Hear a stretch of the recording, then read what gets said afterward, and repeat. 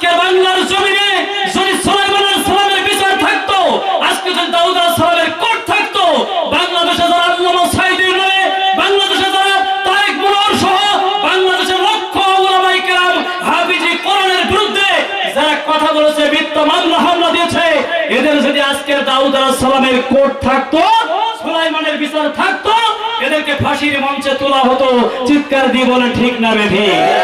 জোরে হাত তুলে বলেন ঠিক কিনা লিল্লাহে তাকবীর আমার সোনামানিক যুবকেরা রাগ করলেন নাকি আমার সোনামানিক যুবকেরা তরুণেরা হক কথা ফক করে বলতে হবে চাকরি থাকবে কি থাকবে না আমরা জানি না।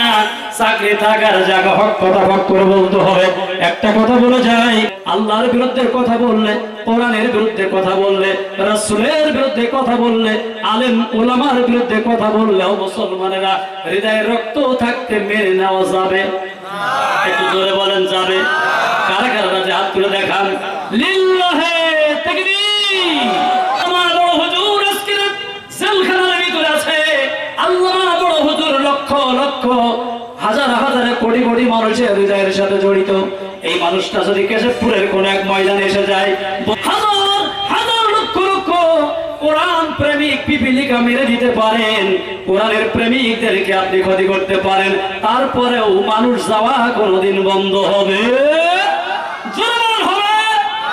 অক্ষরতা বন্ধ করা যায়। ও মন্ত্রী বন্ধুরা, এই আয়াতের একটু ব্যাখ্যা নিয়ে নেন। একটু চিন্তা কেন করেন না? আজকের বাংলাদেশে তোমাকে কেউ চিনত না, তোমার কেউ জানতো না, তোমার কেউ মানত না।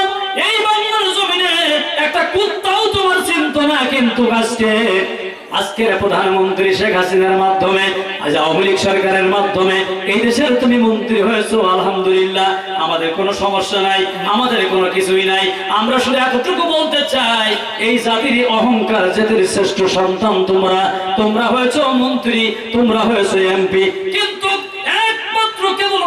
কেবলমাত্র বিশ্ব আদর্শের কারণে, বিশ্বনবীর পৃথিবীতে আগমন ঘটার কারণে সোজালা সোপালা, শস্য শ্যামলা, সোনার বাংলা পেয়েছি, সোনার স্বাধীন বাংলা, স্বাধীন পতাকা পেয়েছি, জোরে বলুন ঠিক না বেঠি? বিশ্বনবীর কারণে নিয়ামত আপনি দেখতে পান। সব নিয়ামত আমার বিশ্ব নবীর জন্য পেয়েছি রে বন্ধু। আজকে তুমি মন্ত্রী হয়ে সেই নবীকে তুমি লম্পট বলেছ। ইসলামকে তুমি খারাপ ভাষায় গাল দিয়েছ।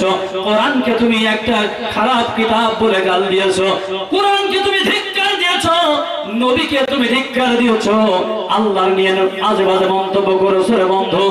মনে রাখবা, আজকের এই গোটা বিশ্বের তৌহিদে মুসলমান কেবলমাত্র, শুধুমাত্র নবীর বিরুদ্ধে কথা বলার কারণে গোটা তৌহিদি মুসলমানদের করে যায় আঘাত দিয়েছ।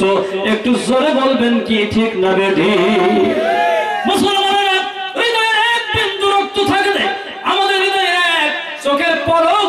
পর্যন্ত পড়বে, ততদিন পর্যন্ত ইসলামের বিরুদ্ধে কথা বললে। আল্লাহর বিরুদ্ধে কথা বললে কোরআনের বিরুদ্ধে কথা বললে রাসূলের বিরুদ্ধে কথা বললে আলেম ওলামার বিরুদ্ধে কথা বললে মুসলমানেরা হৃদয়ে রক্ত থাকতে মেনে নেওয়া যাবে। একটু জোরে বলেন যাবে। কারা কারা রাজে? হাত তুলে দেখান। লিল্লাহে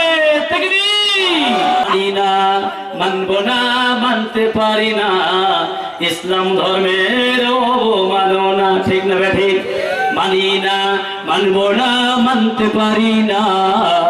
ইসলাম ধর্মের অবমাননা এই কোরআনের বিরুদ্ধে কথা বলে করলি অপমান। টাকলা তুই হয়ে যা সাবধান। ইসলামের বিরুদ্ধে কথা বলে করলি অপমান। লতিফ সিদ্দিকি তুই হয়ে যা সাবধান, নইলে বুশের মতন জুতা খাবি, রক্ষা পাবি না। মানি না মানব না মানতে পারি না। ইসলাম ধর্মের অবমাননা ধর্ম ঠিক কিনা?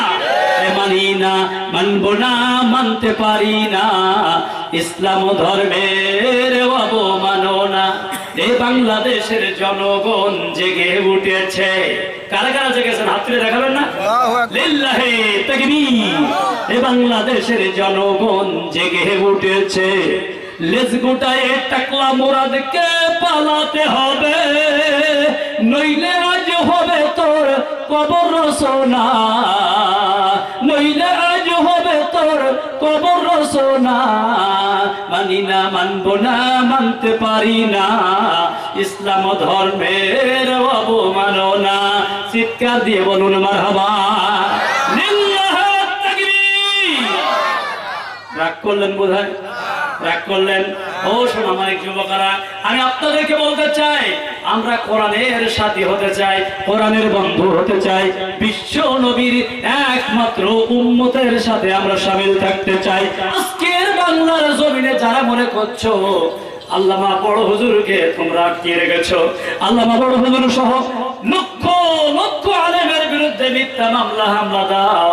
আজকের শুনে রেখে দাও, কোরআনের পাখিরা কোনোদিন মরে না। কোরআনের পাখিরা কি মরে? মরে। আজকের হাফিজে কোরআন, এই কেসে পুরে লক্ষ লক্ষ হাফিজে কোরআন তৈরি হচ্ছে। প্রত্যেকটা ঘরে ঘরে বলা যায়, কোরআনের পাখি তৈরি হচ্ছে। একটা আল্লামা পৃথিবীর থেকে চলে যাবে একটা আধারি চলে যাবে একটা আমির হামজা চলে যাবে লক্ষ আমির হামজা ঘরে ঘরে তৈরি হবে জোরে বলা ঠিক কিনা?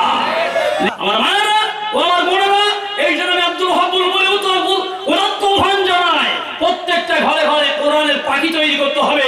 রাজি আসেন কারা কারা? হাত তুলে দেখান। লিল্লাহে তাকবীর